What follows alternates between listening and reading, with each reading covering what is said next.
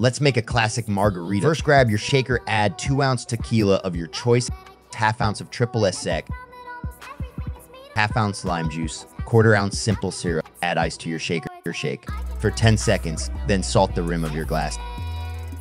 Add ice to your glass. Pouring your margarita mix, garnish with a lemon wedge. Cheers.